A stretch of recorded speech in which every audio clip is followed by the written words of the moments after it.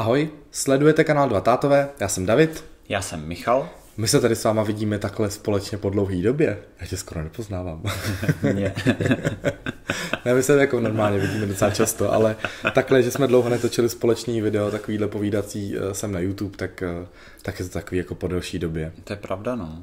Ještě dlužíme uh, určitě díl našeho seriálu o tom vlastně, jak jsme vyřešili dokumenty s dětma v Česku a tak, ale uh, nějak na to nezbývá čas, takže to, to máme v zásobě pořád.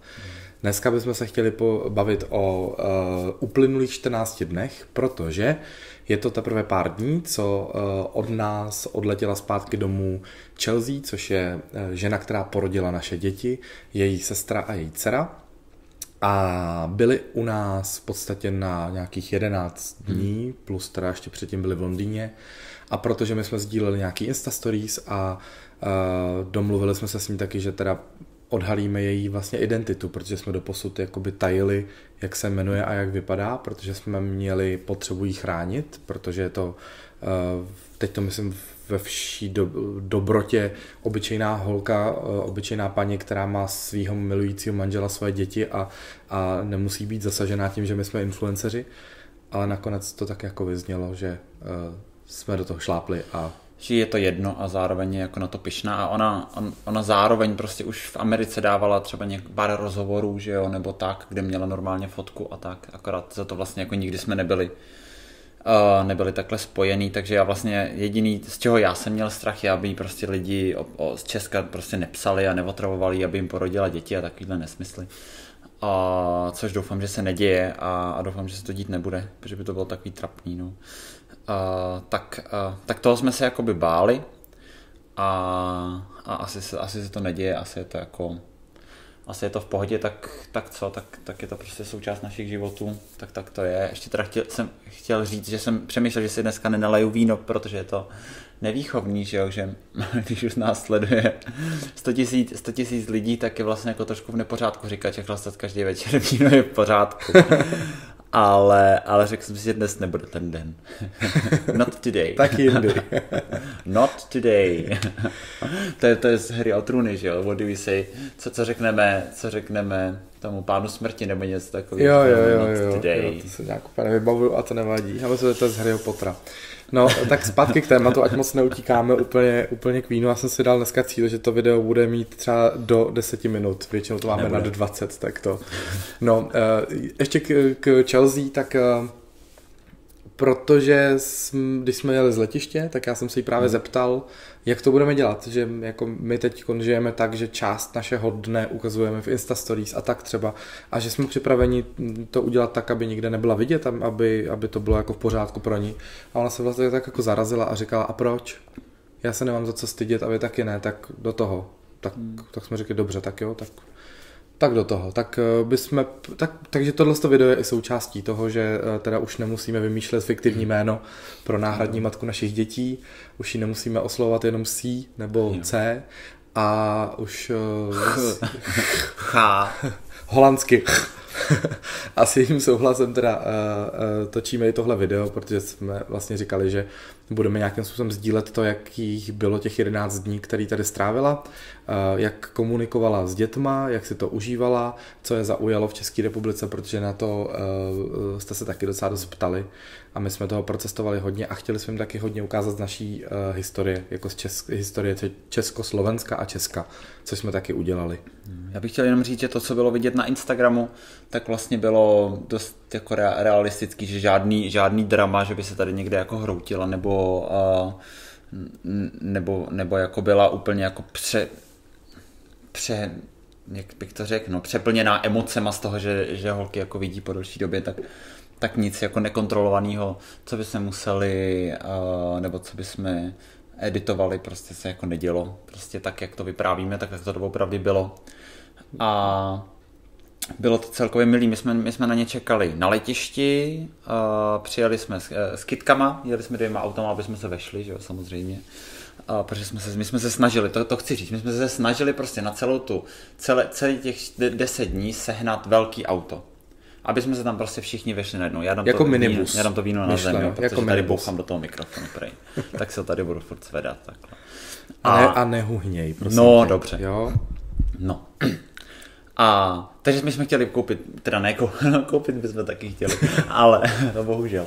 Ale chtěli jsme počít velký auto, kam bychom se všichni vešli najednou, byl to Davidův jako velký sen, mě to bylo celkem jako jedno, ale David jako zatím strašně šel, volal úplně všechny půjčovny a zjistil, že s, s velkýma automa všichni v tu dobu vodili do Chorvatska.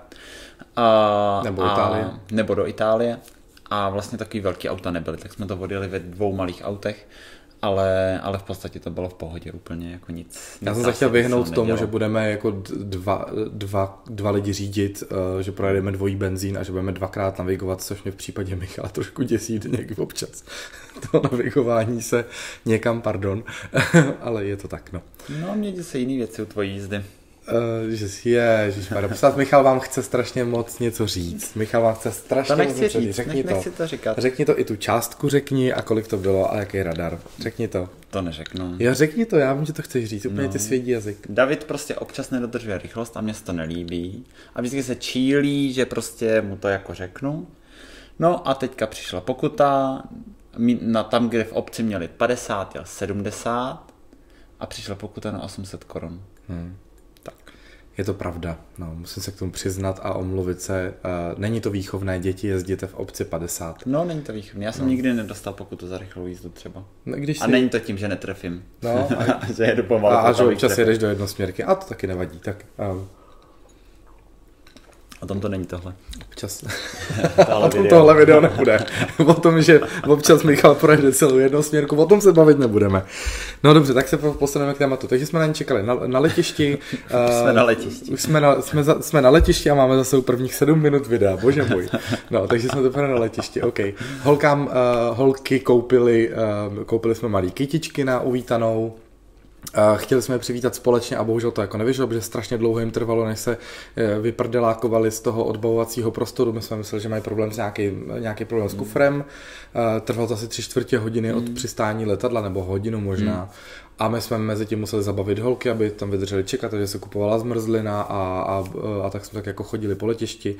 No a pak jsme přijeli, přijeli k nám domů a hned vlastně ten den eh, jsme jeli na Karlštejn, protože jsme tam měli domluvenou prohlídku. A ještě do zoo předtím. A do, a do zoo vlastně, to je pravda. Zoo, a bylo to ten samý den? Jo. Bylo, jo. Ten vyzvedli jsme na letišti, přijeli jsme k nám domů, dali jsme si tady v oběd ale my jsme řekli, že nebudeme vyprávět celý toto. To je pravda, no. A už to děláme. a už to děláme, už jdeme. A tak aspoň ten první den to Tak první vykládám. den, dobře. Tak první den jsme, uh, jsme jeli tady k nám do Brandýsa, uh, normálně se tady uh, ubytovali u nás doma, bydleli u nás doma, vlastně byly dvě možnosti, že jo? My jsme, my jsme jim nabídli, že by jsme byli moc rádi, kdyby zůstali u nás doma, že máme prostě dost místa na to, aby jsme je ubytovali všechny tři a, a oni, že to jako bude jejich potěšení, takže takže jsme se na tomhle tom vlastně domluvili. A z toho teda vyšlo, že jsme museli, že jsme museli uklízet, dodělávat skříň, aby si měli kam dát věci, ale vlastně nás to jako nakoplo. Nás to jako nás dodělali jsme spoustu restů. Tak. Umyli jsme v okna v jejich pokoji, no. tak najednou tam bylo vidět. Co máme společného s Michalem je to, že my občas něco tak jako odložíme a pokud o to vysloveně nezakopáváme a funguje to,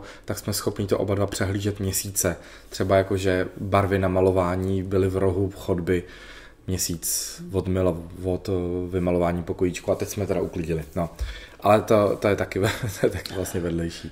No nicméně, tak, ale to je důležitý. No je to důležitý. Tohle to říct. Takže, takže my jsme dali, my jsme dali Chelsea a její dceři jsme dali naši ložnici, ano. naši postel, naše lože. Pověsili jsme tam fotky, eh, teda obrazy eh, z malůvek, který dělali naše dcery při malování. Jo, jak chodí na lekce malování, tak jsme to dali do, do ještě jsme rychle nejeli do Hornbachu, koup, nakoupili tam rámy, pět rámů a, a da...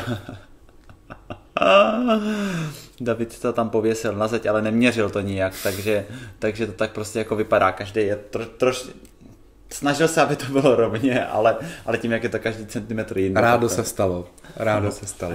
No, tak je to jsem prostě to zvládnul takový, ještě na posledních pár minut. Takový divoký, je to taky hodně divoký. A takže jsme ubytovali, eh, Chelsea a její dceru jsme ubytovali v naší ložnici a pak máme pokoj pro hosty v pracovně, kde spí vždycky naše mamky, když přijedou a tam, tam bydlela uh, sestra Chelsea. A tak ta bydlela tam a my jsme spali s holkama, my jsme si dali matraci, kterou tady ještě máme, ta ještě moje zasloužilá matrace za svobodná. zasloužila. se neměl říkat. A, a to jsme dali k dětem do pokoje. to jsme dali dětem. A dobře se na ní spí. Tak jo, tak a... asi výzva, jestli je mezi vámi nějaká jiná zasloužilá matrace. Napište já nám do komentářů. Já jsem neříkal, že já jsem zasloužila matrace. Takže jsme spali na té matraci, kterou jsem měl ještě jako dlouho už to je. A tu jsme dali do dětského pokoje a tam jsme spali pod takovou prolizačkou no, u no. dětí. Tak, uh, no a my jsme cestovali. Cestovali jsme hodně po České republice, kromě teda toho, že jsme vzali do zoo, tak jsme vzali na Karlštejn mm. uh, a tak nám to pěkně všechno navazovalo, že vlastně jsme trošku nakousli tu dávnou historii typu Karel IV. a jeho rodina a okolí a potom tu, tu horší část té historie, což je vlastně nacistická a sovětská okupace. Pustili jsme jim film, koukali jsme jeden večer tady na Miladu, mm. uh, vzali jsme je do Terezína, uh, Stávali jsme v pět hodin ráno a já jsem je bral na prohlídku Prahy, devítihodinovou prohlídku, devět hodin jsme chodili po Praze. Morgan, což je dcera, Chelsea byla trošku potom už nešťastná, že toho na ní bylo hodně, že se nachodili opravdu strašná spousta kilometrů, takže už jsem to potom jako zachraňoval tím, že jsme se zastavili v muzeu Kampana Dortík u Ivety Fabešový a tak, jako aby tam byly nějaké... A to jsem vám záviděl, tam bych chtěl, ta, tak tam, tam někdy nešli. Můžeme tam mít, můžeme, Verichova to, je to fajn, ne? Verichova vila, no, je to fajn. Hmm. A jo, to není vlastně, jo, je to muzeum to Kampa, ale to Rychova vila. To bych teďka ten Mají tam mega tu, mega makronku s malinama. To je fakt to mm. parádní. Mm. No a takže a co mě osobně překvapilo a na co jste se i hodně ptali, jak moc je to jako opravdu zajímalo protože možná, eh, možná máte v hlavě obrázek turistů v pra, z Prahy, který přijdou na fotě, odjedou, vlastně se moc jako nezajímají o hlubší tu historii, tak je to zajímalo natolik, že já jsem se jako strašně moc zapotil. Já nejsem úplně dobrý v angličtině, ale dostal jsem během té prohlídky Prahy tolik otázek, že můj Google a eh, překladač v telefonu se teda jako dost zatočili za ten, za ten den, Spoustu věcí jsem dohledával, spoustu věcí eh, si četli na těch popiskách v angličtině, měli jsme sebou i nějaký brožurky, které jsme tady měli a tak, takže se zajímali opravdu hodně. A stejně tak, když jsme byli v Terezíně, tak jsme vlastně eh, objednali anglicky mluvícího průvodce, který prováděl taky v angličtině a vlastně celý, celá tato linka té pohnuté historie uh, a toho zla, co tady napáchali na cestě, se jim vlastně uzavřela, když jsme byli v Berlíně, tam teda nebyl uh, Michal ani děti, tam jsem byl s nima sám, aby jsme ušetřili děti jednu část té cesty. A tam jsme byli v muzeu teroru. A tam vlastně byly od začátku do konce výstava o tom, co se krok za krokem, měsíc po měsíci dělo v Německu a v Evropě eh, během druhé světové války. A tam strávili dvě a půl hodiny a všechno to podrobně nastudovali. Takže z toho já jsem byl překvapený, že to až tak hluboce zajímalo ta historie. My jsme se třeba takhle hluboce o historii Spojených států nezajímali, ani jsme tam vlastně proto neměli takový prostor, že bychom chodili po muzeích zatím. Asi nás to čeká.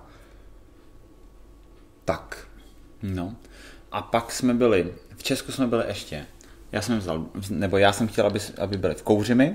A... Zapomněl jsem na Kouřimi, jsem omlav, přeskočil jsem Kouřimi. na Berlín rovnou. Ale v Kouřimi, kde, kde jsme vzali do Skanzenu, to znamená, že viděli ten Karlštejn a ještě uh, Loučeň tady Mm-hmm. Kousek od nás je zámek Loučeň, takže tam jsme taky byli a potom viděli tu jako tu obyčejnější, tu obyčejnější část a to, byly, to byl ten skanzen v Kouřimi, který je fakt jako velký a hezký a to, to se jim strašně líbilo. Ano, to je pravda. se jim strašně líbilo a máme potom teď fakt krásné fotky, které jsme nejspíš ještě se tím vůbec nikam nedali. Mm, asi to možná no. na Instagram, ale jsou fakt jako nádherné fotky. A, a ještě nás vlastně v Kouřimi vzali na zvonici, Uh, což se tam, tam se dostane každý, když prostě tam jdete na prohlídku kostela, tak vás vezmou i na zvonici renesanční a nahoře jsou zvony takhle obrácený uh, srdcem vzhůru a ty zvony, když jako zvonějí, tak oni musí takhle schodit, ty zvony takhle bimbaj a potom je chlapi musí zase takhle zvednout. Jo. Do toho ještě šlapou na, te, na, na a, takovou jako... A pro, pro, mě to teda bylo úplně děsivý, protože tam holky, holky, holky eh, naše malí tam s náma byly a tam prostě se může spadnout, jo, to hmm. prostě to by se jako mohlo, není, to by se to, mohlo stát, to tak, takže já jsem úplně jako hotový z toho, jsou tam, jsou tam strmý schody a tak, ale zároveň, zároveň to byl takový jako obrovský unikát, že tohle to jen tak američan prostě asi nevidí, že jsou někde zvony obrácený srdcem vzhůru a zvoní takhle dolů a pak je zase jako ale tak nám tam i ukazovali i video, jak se to vlastně dělá. A potom jsme byli v Kutní hoře, a, a pak jsme ještě další den jsme byli v Ústí nad Labem a v Kutní hoře se potkala Chelsea s mýma, s mýma rodičema a v, v Ústí nad Labem se potkala s Davidovou, s Davidovou mamkou. Mamkou. Mamka tam a... přijela vlakem, aby se potkali. Poprvé se vlastně viděli. Protože to bylo v pořadí vlastně se uh, holky, myslím tím uh, Chelsea a naše děti, uh, se vlastně viděli te, teď po třetí. Poprvé po jo. porodu, pak jsme odletěli, pak jsme letěli do Ameriky, když holky slavily druhý narozeniny, o tom jsme točili vlog, který vám sem někam dám. A teď vlastně po třetí. A bylo to naprosto skvělý. Spousta lidí se ptá na to, jaký je vztah vlastně holek s jejich náhradní matkou, s ženou, která je 9 měsíců nosila hmm. ve svém těle, ale já to nechci úplně uh, říkat nějakým způsobem jako necitlivě, ale prostě to popíšu realisticky tak, jak to je. Oni mezi sebou nemají žádnou uh, silnou citovou vazbu, která by připomínala uh, mateřský pouto. No, jakože by se třeba sápali, no. sápali po nich nebo tak, to ne. Ale jako, mluvili o nich jako o tetách, že jako kde jsou tety a kdy přijedou tety a že tam ještě jako někde, někde budou tety, ale zároveň jako si ten čas čas jako společně všichni tři užívali. Uh, si jakoby užívali, že si jako hráli a bylo vidět, že holky to baví a, a Chelsea i, i, i jako zbytek klupy je, je to jako baví a běhali tady na zahradě a, a honili se a Maruška strašně chtěla. Maruška vlastně toužila potom, aby, aby hráli na honěnou, že? takže vlastně když jsme jeli do Amsterdamu za a potom, tak zase jestli se teda s ním bude honit. Že? No, ale já jsem to chtěl, já jsem to chtěl jako říct, do, no. dovysvětlit tak, že spousta lidí se na to ptá, jestli holky nějak jako extra reagovaly třeba na její hlas, nebo, hmm. nebo jestli ten, ten kontakt s ní probíhal citlivěji nebo jinak než s jinýma ženama. A to si právě myslím, že ne, že neprobíhal, že, že to obou straně bylo tak, že jako Chelsea má bohatou rodinu, má spoustu uh, uh, neteří a kdo je to druhý? Jako na množství bohatou na, na, rodinu. Bo, bohatou rodinu, tak. ano, na množství jako lidi, na počet hmm. členů, že má hmm. Hodně rozvětvenou rodinu. Širokou. Širokou, mají tam hodně malých dětí a ten vztah, který uh, má k dětem v jejich rodině, hmm. tak podobný má k našim dětem. Tak ho i popisuje, že se cítí jako jejich teta, že se cítí jako jejich příbuzná, ale ne jako hmm. jako máma, protože není jejich máma. A zároveň holky, eh, když třeba bylo krátce po porodu, třeba jako pár dní, my jsme přijeli na, na první, hmm. druhou návštěvu, tak když slyšeli Chelsea hlas, tak se v autosedečkách smáli, tak se usmáli. Nebo jsme se možná jenom sugerovali, že se smějou, ale prostě to vypadalo, jako když se smějou. Ale teď vlastně my jsme tady nahoře v chodbě máme vyvěšené fotky společný, kde je Chelsea s dětma, s náma a oni ví, kdo to je, oni ví, že Chelsea je měla v bříšku, tak s tím jako pracujou, tak, tak to vnímají. Ale že by jako potom plakali, že odjíždí, nebo tak, to se, to se prostě nedělo, protože jsme se rozloučili a, hmm. a úplně normálně. A i, i tak jako obou, obou straně, hmm. obou straně to bylo jako myslím, že to bylo jako velmi strašně jako v pohodě. Byly to, super, bylo to krásný dny společně strávený. Myslím, že jsme se všichni cítili hezky, i holky, i, i vlastně Chelsea, i jako návštěva, že to, že to všechno tak jako zapadalo, že jsme byli všichni strašně spokojení a, ale nic jako hysterického, žádný, žádný jako drama, žádný obrovský jako loučení se ani jako ve skutečnosti, ani vnitřně prostě jako v, nik, v, v nikom, v nikom. Jsme rádi, že jsme se viděli a uvidíme se zase třeba na podzim nebo třeba za rok. Tak. a že jsme se o tom bavili docela dost, Míša u toho bohužel nebyl, já jsem mu to jako převyprávěl, ale my vlastně, eh, když jsme skončili tu českou část programu, která skončila ve Hřensku, o tom jsem vám už vlastně jsem dával taky video, tak se když tak můžete pustit zase. Uh, tam jsme se rozloučili, vlastně Michal jel s holkama domů, my jsme pokračovali do Berlína, jenom já, Chelsea a její dcera, její sestra. Strávili jsme v Berlíně dva dny i s cestou, vlastně tři dny i s cestou a tu ten třetí den jsme přijížděli do Amsterdamu a Míša s dětma přiletěl do Amsterdamu a zase odletěl z Amsterdamu, aby děti nemuseli cestovat těch 8 nebo 9 hodin. A my jsme se po cestě hodně povídali a hodně jsme se sami navzájem i ptali. Ona se mě ptala eh, na to, eh, jak to zvládáme, jestli máme jako krizový okamžiky. Já jsem jí vyprávěl, že samozřejmě máme krizový okamžiky. Eh, a já jsem se jí ptal taky na to, co teď cítí, jak se jako vlastně cítí teď, když jako holky vidí. A on říkal, no fajn, já jsem jako ráda, že, že vás můžu pozorovat a že vlastně na konci toho pobytu celého říkala, že to pro ní byla vlastně největší hodnota. To, že nás dva mohla v reálném čase eh, v našem domě, eh, v tom přirozeném prostředí, v kterém žijeme, pozorovat, jak si užíváme i neužíváme to rodičovství, jak řešíme problémy, jak řešíme konflikty dětí, jak eh, se s nima smějeme, jak je koupeme, jak, jak je dáváme spát. A to pro ní jako bylo nejhodnotnější. No a ještě mi, když se s náma jako lidi baví a ptají se, co se jako holkám tady líbilo, nebo holkám američankám, uh, co se jim jako nejvíc na Česku líbilo, tak uh, tak vlastně Mackenzie se nejvíc líbila Praha a Amsterdam, že vlastně mm-hmm. to má jako na stejno, že ona má strašně ráda historii, chtěla vidět hrady, a, a tak, takže, takže tý se líbilo tohle. To Chelsea se nejvíc líbil ten výšlap do toho Hřenska a pak ještě jak s Davidem běželi v Amsterdamu nebo u Amsterdamu, kde jsme bydleli Edamu, no. v Edamu uh, k moři, k moři, tak vlastně tyhle ty sportovní aktivity a, a Morgan, co říkal? Morgan se nejvíc líbil zvon v Kouřimi. Zvon v Kouřimi. Mm, mm. Že to pro ní bylo jako nejzajímavější zážitek, mm. zážitek jako zajímavý bod. No, ale bylo to moc, moc příjemný. Eh, je asi uh, teď na řadě uh, další výlet do Evropy. Ptal jsem se, jestli přiletí ještě někdy. a říká, že by ráda a že by ráda vzala kluky, protože má vlastně ještě dva syny, má celkem tři děti, takže by bylo fér, kdyby vzala vlastně i, i kluky nebo, nebo třeba jenom kluky, protože Morgan už tady byla, ale oni chlapci dělají wrestling, takže budou dost cestovat asi i ohledně wrestlingu a my se určitě chystáme v dohledné době do státu taky, jak nám to e, program pracovní a finanční taky dovolí, protože když tam vyprav, budeme vypravovat teď už vlastně ve čtyřech, tak budeme muset kupovat plný letenky pro děti, mm. což vlastně do dvou let jsme je ještě ne, nemuseli platit děti, že jo. Takže to je jako zářez vždycky, no, ty, ty lety přes oceán, ale ale vždycky no, jako kdyby ten... jenom ty lety, že jo, ale potom si tam nakupuješ ten... hadry a, a to stojí nějaký A to peníze, taky stojí peníze.